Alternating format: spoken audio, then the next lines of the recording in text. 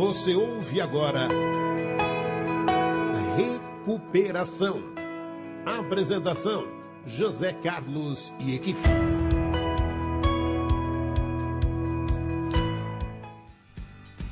Sejam todos bem-vindos ao programa Recuperação. Nós estamos ao vivo, em tempo real, são 12 horas e 1 minuto. Meu nome é Zé Carlos, estou em recuperação. Boa tarde a todos. Boa tarde a todos, eu sou Alexandre Araújo, adicto em recuperação. É isso aí, Alexandre. Vamos à oração? Concedei-me, Senhor, a serenidade necessária para aceitar as coisas que eu não posso modificar, coragem para modificar aquelas que eu posso e sabedoria para distinguir uma das outras. Só por hoje, um dia de cada vez. É isso aí. Você está com 29, né? Eu vou te pegar, estou com 27,5. Eu chego lá. Será que você me alcança? Te alcanço. Bem, amigos ouvintes, é com alegria que nós iniciamos mais esse programa Recuperação, falando aqui sobre o nosso assunto, álcool, drogas, essa interação com os seres humanos, né? E quando a gente fala de álcool e droga, aí já começa a dificuldade, Alexandre. Álcool e droga, você vê, ó. Eu tenho preconceito sobre o tema eu tenho dificuldade, porque você tem que falar álcool e droga para quem está nos escutando, para falar de um assunto, falar sobre drogas psicotrópicas ou psicoativas, substâncias que alteram o humor. Mas o, a terminologia para você explicar isso, né, divide em, ó, já falei drogas e álcool para quê? Drogas legais e ilegais, né? Porque não existe um, um consenso absoluto do tema. Daí a grande dificuldade que nós temos de lidar com esse problema. Existem divergências devido às várias expectativas, perspectivas que se enxerga o problema. Mas como o nosso cérebro é feito para aprender, e com duas palavrinhas a gente já tenta fechar o entendimento das coisas, né? Como você agora mexendo aí no Facebook, você tenta entender o cérebro, ele acha que tem sempre a verdade sobre tudo.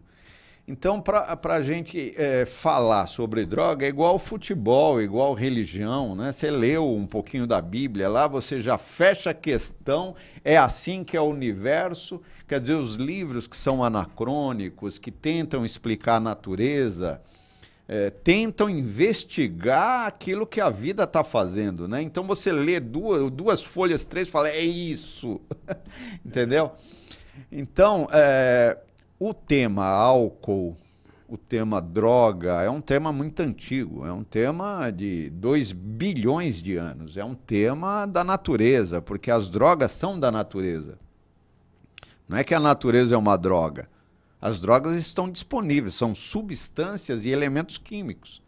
Nós, seres humanos, somos feitos de elementos químicos também. E nós interagimos com essas drogas de uma forma natural. Agora, os rótulos que nós colocamos, é, o modo como nós usamos, o seu uso pode ser bom ou mal, né? Existe bem e mal? Existe o bom e ruim? Bem maniqueísta. Né? É. Alexandre, é, é bem, assim é bem maniqueístas. Ó, existe o bem e o mal? Lógico que não existe. Não existe o bem e o mal. Quando a gente fala de uso bom ou mal, quem é o mal? Quem usa é mal, entendeu? Eu, quem eu, usa é mal? É... é uma pergunta que eu estou fazendo. Quem está usando é pessoa ruim? Depende para onde você vê. Então, você então olha, nós então. não podemos falar uso pode ser bom ou mal, porque quando você tenta usar a droga, você fala assim, ó, eu vou de hoje em diante, com 14 anos, eu vou começar a beber pinga porque eu quero ser uma pessoa má. É isso? É isso? Não, lógico que não. Você começa a beber ou usar para você melhorar a sua performance, ser um, ser um ser humano melhor. Naturalmente, você começa a usar substâncias, café, melhoral, diazepam, álcool, você toma álcool? Não, você toma uma cervejinha que está disponível, né? Então, é um assunto que você olha do ponto de vista histórico, crítico. Quando eu falo assim, ó, vamos falar hoje sobre droga, Alexandre? É, é Aqui? É, vamos falar sobre droga, aí você me pergunta sobre o que, que nós vamos falar, não é isso? É isso. Não, e é interessante que você fala ah, essa questão do, do, do, do erro pedagógico que existe, né? Porque a família ela começa a educar o filho aos 15 anos falando para ele que ele vai que droga é uma coisa ruim, mas tudo que ele vai ver a partir dos 15 anos sobre droga é bom. A droga vai ajudar ele na festa, vai ajudar ele numa dor de cabeça, vai ajudar ele a, a, a ficar mais desinibido. Então, olha que choque que, que o, que o indivíduo já tem na formação dele, né?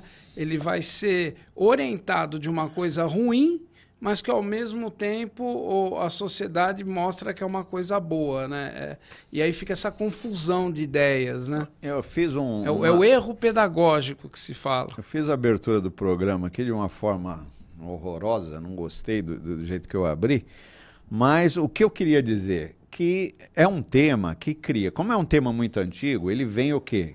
Com um entendimento bem ancestral de uma cultura antiga, uma cultura de quanto tempo aqui na sociedade? Pelo menos álcool. Há 8 mil anos se, se fabrica é, álcool de uma forma industrial no mundo.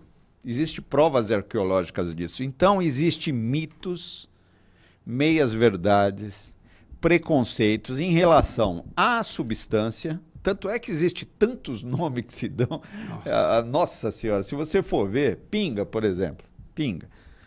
Você já ouviu falar na é, arrebenta peito? Biri... Vamos tomar uma birita, não é assim que fala? Vamos tomar uma, birita, uma birita, uma branquinha, uma cana, vamos tomar uma caninha, uma canjibrina. Quando eu vamos, vamos tomar uma canjibrina. Carquejo. Carquejo, nó de cachorro, raiz, vamos tomar é, uma vamos raiz. tomar uma raizinha, um é, engasgagato. É, do barril. Uma marafa. É, do barril. Amarelinha. Agora, no meu tempo, falava uca. Você lembra? Não, não. não uca, Eu vou tomar uma uca, uma, uma gororoba. Goró, tem um goró. Goró. Um goró. E quando você fala de quem está usando, quem bebe, aí você dá... O, o cara exagerou, começou a exagerar. Nós, a, a população, no geral, reconhece o bebedor. Não reconhece a doença, mas o estereótipo conhece a figura mambembe, sabe? A, a, a, o espantalho, o cara, o cara diferenciado. Então você chama ele do quê? De, de ébrio, de bêbado, de bebum, Nossa. de borracha. Eu acho que é o que tem. De, ixi, tem muita coisa. Pé de cana pudim de pinga, você... pau d'água, boca de litro, você... esponja, é, o gambá. Gambá, bebum, ixi, aí vai pé inchado, pé grande, pudim, pinguinha. Pudim, pudim de Se você entrar num bar e gritar, ô pinguinha, quantos Nossa, que vão olhar para você? 10 vai olhar. então, é, quer dizer, esses nomes, esses apelidos mostram o quê? Um estereótipo que não tem nada a ver e é até anticaridoso, né? Porque leva para um lado é, assim meio risonho, meio de apelido, meio de gozação, que é, o, o próprio usuário traveste isso. Ele veste essa camisa. E isso faz com que impede até a recuperação das pessoas. É chamado de estereótipo isso, né, Alexandre? Estereótipo, estereótipo. Então, aí é muito interessante essa questão do estereótipo, José Carlos, porque o estereótipo ele já vem com essa formação que você falou ao longo da história. E o estereótipo é uma reação psíquica de proteção. Então, como você usou aquele termo lá, quando você quer falar, você anotou aí, quando você quer falar da, da miséria do alcoolismo, como é que você chama o cara que você falou? Homem do. Não, é, é, é quando você é, lembra de, de cachaça, de manguaceiro, de cara que já está bebendo há algum tempo, queira ou não, se cria o uma estereótipo imagem. do quê? De uma pessoa em situação de rua. É, aí eu falo o homem do saco. É, o homem do saco, o capote, o vagabundo. Quando a mãe ou alguém fala o homem do saco tá aí, o cérebro em questão de segundos já, já, já forma o um homem no saco da casa. Ninguém sabe se é um coitado, se está precisando de ajuda, se de onde ele veio, o que está acontecendo. Ele passa a ser um homem do saco. Então, é uma, uma, uma reação psíquica ao estereótipo que vem com uma gravidade. Ela não tem um fundamento, ela não não tem uma prova, porque você não conhece aquela pessoa. O grande problema do, de, de, dessas terminologias que é dada é que você não conhece a realidade do assunto que está sendo tratado. Por exemplo, você vê um cara mal sujo hoje na, na, perto ali da estação É um da Lua. alcoólatra. N- Ou noia. Ó, nóia. Você já fala que na hora que você olha, já vem é nóia, mas você nem sabe quem é aquela pessoa, de onde ela. Você julga Se ela. tem problemas mentais, se o que está acontecendo com ele, não mas tem é- prova, não tem fundamento. Né? Então, mas são palavras, viu, que, que conseguem esses apelidos, eles conseguem o quê? Observar os efeitos do alcoolismo pelo senso comum, Alexandre. Ah, sim, é isso É que eu falo. Ela vem, É o senso comum. vem com- pelo senso comum. É um Então, vo- consciente coletivo. É, eu- se você é, entrar aí num, num manual médico ou um livro de alcoolismo especializado e vai falar quais são os efeitos do alcoolismo. Não, ele causa efeitos, por exemplo, nas mucosas, no trato intestinal, no, no, no sistema é, circulatório, no inflamações do sistema nervoso, não é assim? isso. Agora, o senso comum não pode ver dessa forma. Então eles vão apelidar, não tem como. E aí. Aí vem aquelas coisas te- terríveis, né? Por exemplo, eh, água de, de briga. Você ouviu falar, vamos tomar uma água de briga, lá É. uma arrebenta peito, uma engasga gato, Olha, você quer ver uma vez. que mostra o quê? As irritações que existem dentro da pessoa pelo uso, né? É. Então, as inflamações interiores. É, uma vez eu participei de um programa no SBT, aquele de auditório, eu não me lembro o nome do programa qual era, mas era um que era sensacionalista. É, entrava os casos e a apresentadora fazia gozação. E, um- e o dia que eu fui convidado, era uma moça bonita, de aproximadamente 25 anos, e o marido dela bêbado, alcoólatra. E aí ficava focando ela bonita. Ah, ele dorme, ele bebe. E todo mundo quá, quá, quá, quá. É quá, né? E riam dele, fa- fazendo do caso, dando a entender que enquanto ele dormia, a mulher estava sendo vista por outros. Quando a, a jornalista me perguntou o que eu achava, eu falava: olha, isso é triste, porque o que a senhora está achando engraçado nele são os critérios de diagnóstico de uma doença cerebral.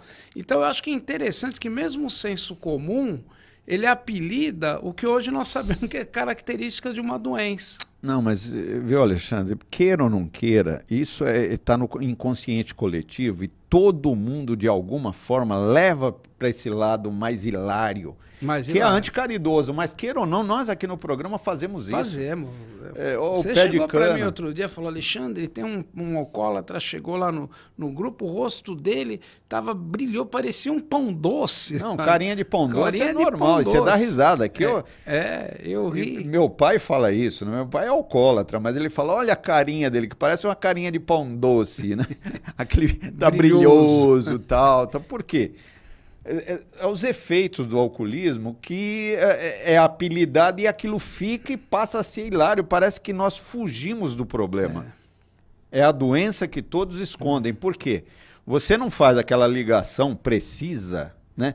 Da gravidade, da intensidade e da evolução. Desde o começo, lá quando começa a tomar uma cervejinha com os amigos ou com as menininhas, no, no sábado, o menino com 17, 18 anos, É.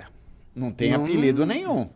É nada, é, é- é visto como inserção social. Mas, José, deixa eu dar o telefone para o ouvinte, o telespectador da TV Mundo Maior, poder participar do programa enviando sua pergunta para o 0800 979 5011, 0800 979 5011, ligação gratuita para todo o Brasil. Você pode participar pelo WhatsApp também, pelo número 9 85759580 com DDD 11 o WhatsApp é 985759580.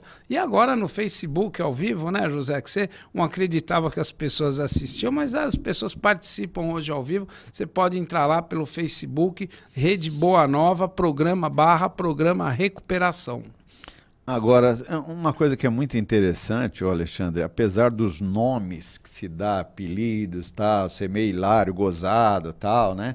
E é feito é, mesmo para gozação, mas a precisão de- do, do fenômeno, quer dizer, é, é, através de tipo ensaio-erro, eles é, a- a- o senso comum consegue observar o fenômeno. Por exemplo, ó, É, é, vamos tomar uma para matar o bicho.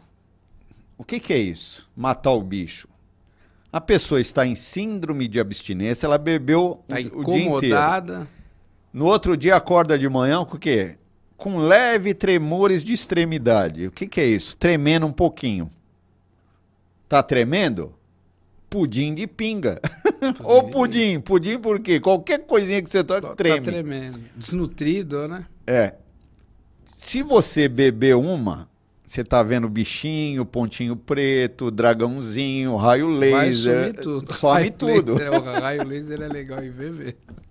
Então, Ai, pô, vamos tomar uma pra matar o bicho e mata o bicho mesmo. Tá vendo o bicho? Não. Tomou uma de manhã, mata Não, e quando, e quando eu chegava no bar de manhã, eu virava pro cara e falava assim, pro, pros amigos. Porque tem aqueles frequentadores de bar que são os oficiais. Cada bar tem. Que o dono do bar abre a porta e você já tá do outro lado ajudando ele a levantar, né? A porta do bar. Eu falava, meu parceiro, eu acordei de manhã, senti um cheiro de óleo, já comecei a vomitar. Aí os caras, toma uma carquejo. Né? Toma um Deberg, né? Quer dizer, toma uma, ma- uma, uma é amarga. uma cultura oral uma maravilhosa. cultura, uma Quer dizer, se você olhar o fenômeno em si, né, sem juízo de valor, sem esse lado moral, é uma cultura. É uma cultura que tem, é muito engraçado. Quer dizer, isso também impede a, a- a recuperação da pessoa, porque ele se identifica. Dentro do estereótipo, Alexandre, dentro do, do preconceito, por exemplo, quando você chama o cara de cracudo, de noia. Noia tem um fundamento maravilhoso. A pessoa começa a usar cocaína, É. ela começa a ter o quê? Psicose, psicose. psicose cocaínica. Paranoia. O povão já chama de noia. É, para de Noia. Ou cracudo, o cara perdeu a identidade.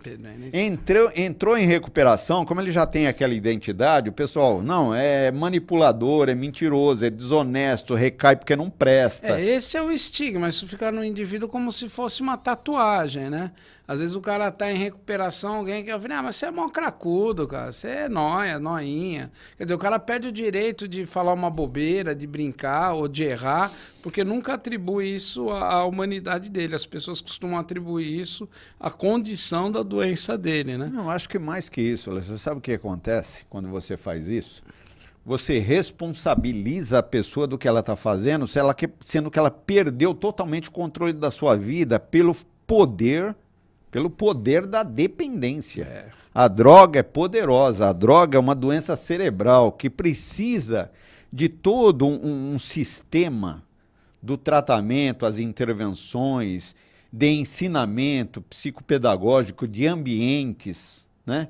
E um tratamento a longo prazo para ele poder recuperar a sua ação. Não é assim? Aí você vai e fala, você é manipulador, quer dizer, sem nenhum juízo de valor. E aquilo fica no imaginário popular mesmo.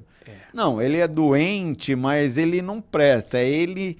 Entendeu? É, na verdade, né, José, é, eu penso assim, à medida que a dependência vai evoluindo, o indivíduo vai perdendo a dignidade dele, vai perdendo a honra. E no lugar da honra, a dignidade, vai entrando essa, questão desses estereótipos mesmo, né? As pessoas vão codificando ele na E vida. ele acredita naquilo que falam dele. E agora você tocou no maior problema, que é o que eu penso que é mais sério. O cara passa a acreditar nisso, porque ele não ouve de uma referência só, ele ouve do pai, da mãe, do irmão, de pessoas importantes e centrais na vida dele. Ele sai na rua, a rua reforça isso para ele. Então, de tanto você ser submetido ao estereótipo, chega um momento que você passa a vivenciá-los. E é difícil você repetir. Olha, você lembra quando eu tinha casa moradia lá no Cambuci? Eu estava ajudando uma vez um rapaz lá, dando casa, comida, arrumando emprego, um monte de coisa. Chegou uma vez, eu de madrugada, ele tá roubando tudo. Eu falei, mas, cara, mas eu não tô entendendo, eu tô te ajudando tanto, o que, é que você tá fazendo? Ah, eu sou adicto, né, cara? Sou noia. Entendeu? E eu escuto isso sempre. O cara faz uma boa, mas, meu, você tava tão bem, tava legal. Ah, sou noia, né, meu? Sou adicto. Mas o assim, cara passa a acreditar Você nisso. vê o quanto que nós temos que trabalhar ainda, Alexandre? Quanto que nós temos que estudar para tentar fechar um, um entendimento um pouco melhor do tema em todas as áreas. Por quê? Nós estamos falando do quê? Quando você olha na área científica mesmo, ou então daquilo que é oficial, daquilo que se compreendeu, parece que há consenso também. Não há consenso. É. Você fala de drogas legais e ilegais. E daí? O que, que é legal, o que, que é legal? Qual é a melhor? A legal ou a ilegal? Legal. Entendeu? É que- Qual que causa mais dano? Quando você pensa em álcool, você não pensa em, em- em droga.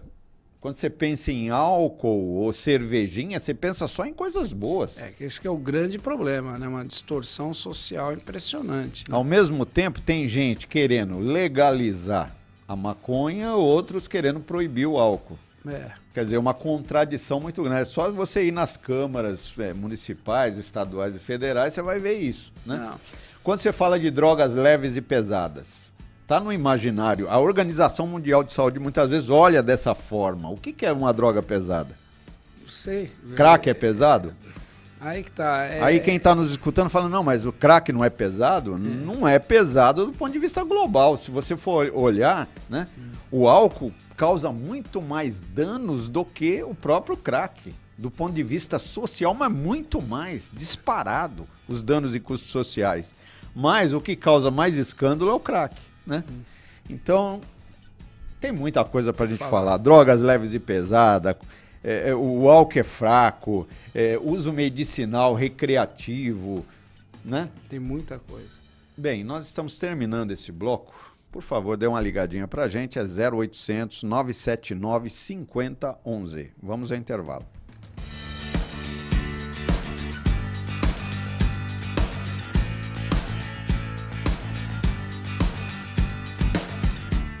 Educar, alimentar. Cuidar de uma criança é um trabalho e tanto. E cuidar de 1.400? Nós estamos falando de 1.400 crianças para lá de especiais. As Casas André Luiz têm certeza que você vai ajudar a cuidar dessas crianças.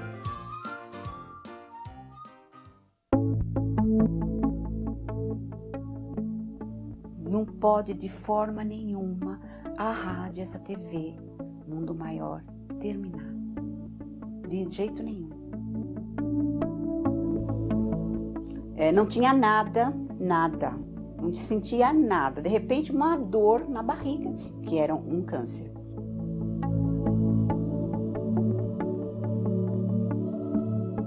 Desesperada, liguei a rádio lá, não sei como, nem porquê, a rádio estava lá na Boa Nova e estava falando. Tava, o meu problema estava ali.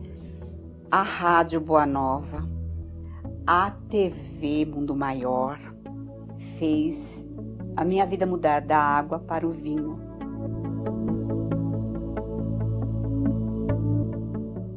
Quando eu não estou na rádio, eu estou na TV. Eu estou com a, minha, a faculdade aqui dentro da minha casa.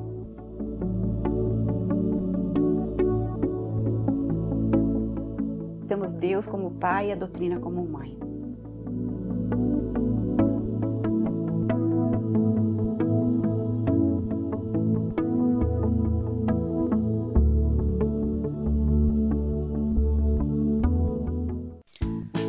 A Mundo Maior Editora traz para você Tininha, a gotinha d'água em defesa do meio ambiente, da autora Lourdes Carolina Gagete. História que vai transportar as crianças para um mundo de aventura e magia, mas também da preservação do nosso planeta. Adquira já o seu pelo telefone 11 4966 5775 ou acesse www.mundomaior.com.br.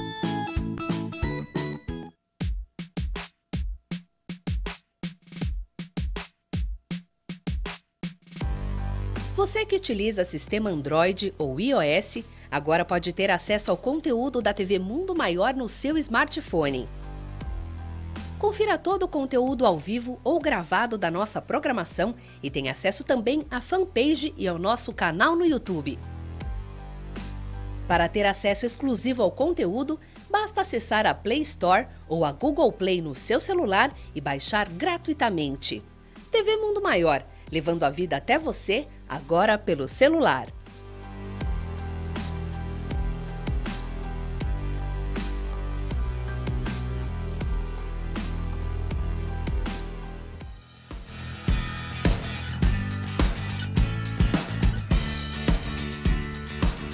Bem, nós estamos de volta, é o segundo bloco do programa Recuperação e hoje nós estamos aqui falando de coisas difíceis, tentando, quer dizer, pôr um pouco de areia, pôr um pouco de. mostrar a realidade do tema. Porque quando nós falamos a palavra droga, parece que todo mundo já sabe do que nós estamos falando. Aí se perguntar, mas vamos falar do quê? Nós vamos falar da polícia, repressão? Nós vamos falar de traficante, De comorbidade, nós vamos falar de tratamento. prevenção, de prevenção em escola, nós vamos falar de tratamento, nós vamos falar sobre recuperação, nós vamos falar sobre redução de danos, nós vamos falar sobre políticas públicas. Olha, olha a quantidade. Nós vamos falar sobre o uso medicinal de, de, de substâncias que estão na farmácia. Nós vamos falar de drogas, um, vamos dizer assim, normais e comuns, como a nicotina, a cafeína, por exemplo. Nós vamos falar sobre eh, as intersecções sobre tudo isso, né? Nós vamos falar sobre controle, nós vamos falar. E aí vai. Quer dizer, Uma infinidade. drogas, eh, drogas e mulheres, drogas e adolescentes, drogas e a terceira idade, né? Tem muita coisa. O que nós temos aqui é uma grande dificuldade porque não existe pontos de intersecção. E se esse programa tiver alguma utilidade, é nós aprendermos que nós não sabemos. Não saber é altamente positivo. Se você pensar que você sabe, formar opinião, bobagem que tem- nós temos na nossa cabeça. Porque o tema é vasto, é grande. Né? Gostaríamos que as drogas não existissem, mas elas estão aí. O que nós temos lá na ponta, o que, que é? Pessoas problemáticas. Porque se o uso recreativo não causasse danos a pessoas problemáticas, ou então pro- pessoas problemáticas que têm uma vulnerabilidade ao uso, que vulnerabilidade é essa? Ela usa e gosta bastante. Ela usa e se dá bem com aquilo. Ela usa, é um uso hedonista.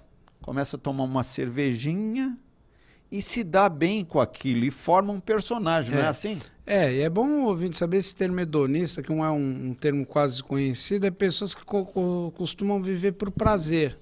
Ela acorda de manhã pensando em como vai se divertir, como vai ter prazer, e, e- e em segundo lugar que vem as obrigações, a disciplina, o planejamento, a luta. O hedonista era uma corrente da filosofia que achava que a razão da vida era viver por prazer. Só que eles eram senhores, né? Eles tinham escravos. Não, e outra coisa, a pessoa não faz na- isso na pensando em filosofia. Fala, ó, de hoje em dia eu vou Ah, ser hedonista. sim, o nome- Naturalmente, é. gradativamente, ela vai formatando o a personagem, vai formatando o cérebro com aqueles hábitos naturais. Então acorda de manhã e como é que ela tá? Ela tá meia depressiva.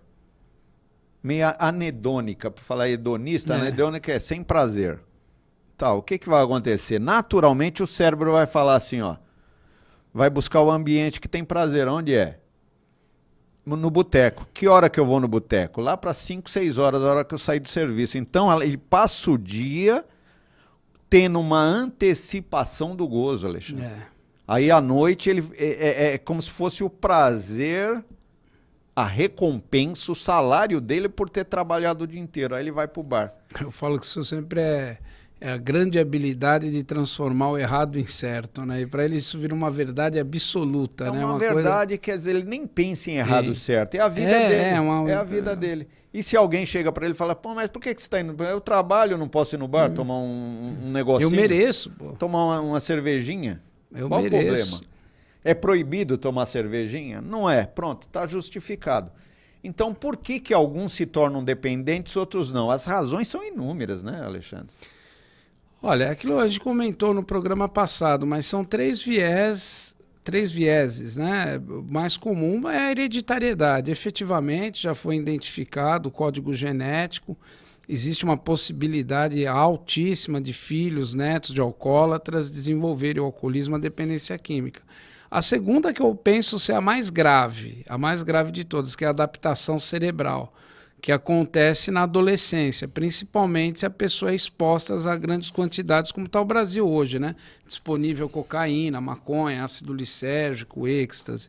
E a terceira é a adaptação do fígado, né? A pessoa não tem a genética, não tem a cerebral, começa a beber lá com seus 20 e poucos anos, nesses happy hours, começa a aumentar a quantidade, o fígado se, se adapta a metabolizar. É, Então esse- são esses vieses, E né? se a gente for olhar, a grande maioria para quando dá problema. Quando a gente fala de pessoas que se tornam dependentes, isso não quer dizer que ela não, ela virou dependente e não vai parar de usar. A grande maioria para sozinho. Já pensou se não parasse, Alexandre? Vixe. Então, quando a gente olha pessoas que preenchem critérios diagnósticos de alcoolismo ou de dependência de droga, é uma minoria muito pequenininha. Muitos deles param sozinho quando tem problema. A dor vem em socorro pedindo ajuda e a pessoa pensa assim: essa, eu não posso continuar com essa vida, porque ela tem uma consciência que começa a cobrar ela. Aí, essa, a força dessa consciência, você parou assim, eu assim. Chega em determinado momento, você fala assim: nossa, eu preciso parar. Agora, querer parar é uma coisa, parar é outra. É porque existe uma força fisiológica um pedido de ajuda do cérebro para aliviar sintoma de mal-estar que é medicado com a substância. Então ele precisa, quer dizer, ele é chamado a uma luta para um, um, um homem novo. Porque a, a, a, droga, quando você usa droga, as drogas, qualquer uma, maconha, cocaína, LSD, é, morfina, heroína, é, cocaína, álcool, qualquer uma delas, elas são expansoras da mente, é chamado de drogas psicodélicas. Por quê? Ela enfia você em, em, em locais da sua alma que você não vivia. Alexandre, você está lá, menino, daqui a pouco você toma um goró, não dá um twin? Não, não cresce o cenário? Não, não, e que twin, né, José Carlos? Eu estava me lembrando daquilo que a gente fala, né? É, ninguém acorda de manhã falando assim, poxa, que delícia, hoje eu vou sofrer. Né? Ninguém acorda, com todo mundo acorda de manhã com a ideia de ter um dia bom, mais alegre, mais feliz. E de repente você arruma uma gambiarra, que a gente brinca, né? um gato, que é uma coisa que você toma e vai te dar isso instantaneamente você quer que isso passe a fazer hábito da sua vida. É lógico. Né? O cara tá lá, um menino, vai, vem, crescendo, cheio de problemas, dificuldades. Naturalmente, ele vai ter o quê? É, problemas na vida que ele vai tentar resolver para obter crescimento de alma.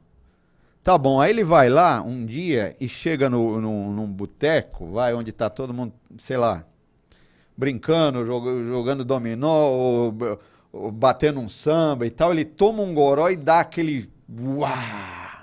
Pronto. Encontrou o elixir da vida. Quer dizer, ele vai querer repetir aquilo gradativamente. Vai ter sinais de que ele não deve beber? Vai. No outro dia ele vai ter ressaca. Pode ver a cobrança de um pai. A própria consciência dele vai cobrar. Aí começa o jogo. O jogo o quê? de usar, buscar prazer e dor futura. É. Como, como é que é a equação, Alexandre? É, é, dor emocional mais uso de álcool, drogas é igual a alívio imediato, que é igual a dor futura, que é igual ao uso novamente. Né? Isso é muito louco. É, porque é... a dor mesmo vai pedir mais é, porque para o ouvinte entender, assim, a maturidade ela acontece com o enfrentamento das dificuldades, né? Então, a cada idade, você vai, por exemplo, é, aquele menininho na escola que pegou a borracha do amiguinho, o amiguinho foi lá e bateu nele. Ele vai ter que aprender a lidar com aquela dor. Da mesma maneira, a dor da, da primeira traição, dos ciúmes, fazem parte da maturidade emocional. E é justamente nessa maturidade emocional que a droga atua. Porque o, as pessoas têm ideia que a, a droga atua na lógica, sabe, José? Eles acham que é uma questão de certo e errado. Que, é, tem gente que fala assim, nossa, ele usa droga, mas ele é tão inteligente que se como, como, como se eu usasse droga tivesse que ficar orelhudo, entendeu? Não tem, não tem nada a ver. O cara é inteligente porque a lógica não é afetada. Agora, essa vida emocional, essa, essa é, é, maturidade, ela é extremamente comprometida, porque o indivíduo ele vai crescendo sem saber o que é ciúmes direito, sem saber o que é fidelidade direito, o que é disciplina direito, porque boa parte do tempo ele está se preocupando em usar, como usar e, e, como passar o efeito disso, né? Como ficar com o efeito. E outra coisa, não adianta a gente também querer demonizar a droga, achar que droga é uma coisa ruim, porque é impossível, impossível a gente viver sem droga. Na verdade, o uso de droga e suas consequências, né? Que vai desde a coisa boa, se tomar um café, tomar uma cervejinha um dia, lá no fim, é. no fim de ano você tomar um pouquinho de champanhe, é uma coisa. É. Tem pessoas, não é por maldade, que vão desenvolver a dependência. É, e aí, José... Quando chega na dependência, aí precisa muitas vezes de tratamento. Hum. Então, o uso de droga não é bom nem ruim. Não dá para você fugir disso. Não dá para. É, gostaríamos que as drogas não existissem, mas ela existe e vão continuar existindo. Tanto do ponto de vista legal, farmácia, controladas, não controladas, como na biqueira, e infelizmente também no boteco, que é o maior problema. 5 mil pontos de venda, né? Como é que uma fábrica de louco que nós é. temos aqui, não só no Brasil, mas muito mais aqui no Brasil, essa permissividade e cultural, cara. Você absurda, pode... É né? absurdo absurda, isso. É absurdo, é absurdo. É, é o que eu falo, tem muita, o grande problema da droga hoje é essa disponibilidade, preço baixo e fácil acesso, né? Não o tem... cara tá no boteco tomando um goró e quando olha o, o, traficante ou coisa assim, ele fica com medo. Olha lá, lá, lá. Ele, ele tomando um é, gorozinho. É, lá, lá, lá, lá, lá, lá, lá, fumando maconha, é. lá. Não, você vê, eu moro em São Paulo, José, eu moro no centro da cidade, na Praça Rosa, eu precisei comprar um colírio e chego na farmácia não vendia porque ele tinha um antibiótico, não sei o que ele tinha, mas não, não vendia sem receita. Mas da onde que eu estava, a 5 metros dali eu, dali eu comprava cocaína, compro crack, compro um monte de coisa, não consigo comprar um colírio, você acredita? Então. Compra essa, pinga, né? Compra pinga, entendeu? Então é um negócio assim, um. Como se o álcool não fosse um ansiolítico. É... Quem está com ansiedade, vai tomar um gorozinho, a ansiedade eu, vai embora é, na hora. É, eu gostaria de falar uma pergunta aqui, ô, ô, José, até porque você falou do, dessa questão do. É, existem usuários, menos usuários, nem todo mundo que usa é dependente. O, o ouvinte mandou uma pergunta que interessante. Ele falou: Bom dia. Eu segui o conselho de vocês, fui até o Cratode. Hoje eu frequento uma vez por semana, já quase dois meses. Eles dizem que não existe um remédio para cocaína, tá certo, Cratone, não existe. Se existe, o Brasil ia ficar rico aí se descobrisse. A vontade não termina, estou batalhando para não recair. Ouço a dificuldade de cada ser humano e percebo que a maioria dos casos ali presentes são bem piores que o meu. É... Então, o, o, o interessante, né? o, o é o, ouvinte falando aqui, é, aí ele pergunta: a minha pergunta é só força de vontade vence a cocaína? Não, força de vontade não, não vence, mas eu achei legal essa pergunta, José Carlos, porque ele consegue olhar e ver que tem casos piores que o dele, e tem mesmo, né? Não existe sofreódramo, mas dá para você viu, perceber é, às eu vezes. Acho, eu acho que é outro mito danado, viu? É. A gente olhar. Porque dependência química, o que, que é? Dependência química é um uso que você faz de uma forma compulsiva e repetitiva, apesar dos problemas. Isso não tem nada a ver com o seu pé que está inchado. Quando o seu pé inchar, o burrinho, viu, Alexandre, hum. começar a vazar água, aquilo lá são problemas o quê? circulatórios, do, do, do sistema linfático. Quando o seu, por exemplo, você tem inflamações no, no, no esôfago e tal, são doenças causadas pelo. Agora, a gravidade e a intensidade de uma dependência tem a ver não só com a compulsividade, mas com a dificuldade que você tem de parar. Como é que eu sei que, uma, que um caso é grave? Que ele não consegue parar. Continua usando apesar dos problemas. Então, quando a gente olha uma pessoa que está lá toda danada, pezão inchado, usando crack todo dia. Mas eu pergunto para ela assim: e daí, você quer parar? Ele fala: pelo amor de Deus, me ajuda, eu quero parar. E para, não é caso grave. Agora chega uma pessoa que está trabalhando na Volkswagen, gerente lá, está bebendo final de semana e causando problema. Chega para mim, quer parar. E eu falo, quer parar? Ele fala, quero, e não consegue parar. É, é um grave, caso grave. caso grave. Então, não é uma questão externa, não é uma questão dos efeitos externos. A intensidade, a gravidade de uma situação é parar. É. É, existe a questão que me chama a atenção dessa pergunta do ouvinte, a questão do, do capital de recuperação também, às vezes, né, José? Porque é, eu, eu, eu penso que assim, você pegar uma pessoa hoje que ela tem uma contingência familiar, a família apoia, ela tem condições de um acompanhamento médico, tem um, um grau de, de, de, estudo, de entendimento, muitas vezes a, recu a recuperação não parar, ela é muito mais fácil de uma pessoa que está na rua, que não tem acesso ao médico, que não tem a família, isso em termos de recuperação. Em termos de né? recuperação. Estou Agora... no parado, os termos de se manter em abstinência. Né? Agora, o, o, tem uma coisa que não dá para você medir no capital de recuperação, que é o, o, a intenção intrapessoal. Não dá para você não medir dá pra isso. Medir. Não, não dá. isso são não... sintomas, não são sinais. São sintomas é. que só o próprio paciente, é a parte do paciente.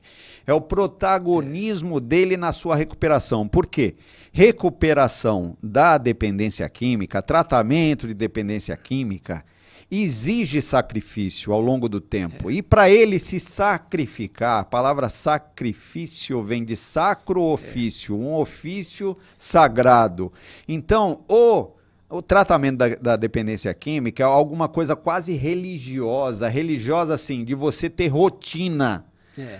é é mudança de comportamento. É, o... Como é que você vai mudar comportamento? Não dá para você parar de usar droga indo no boteco, não mudando uh, os seus amigos, ambientes, pessoas, não estruturando uma nova rotina de vida. Não adianta nada. É, o, o Sêneca, José, ele cunhou isso. Que o, Sêneca é, é foi o filósofo romano. É, romano. Foi o, aquele filósofo que foi o tutor de Nero.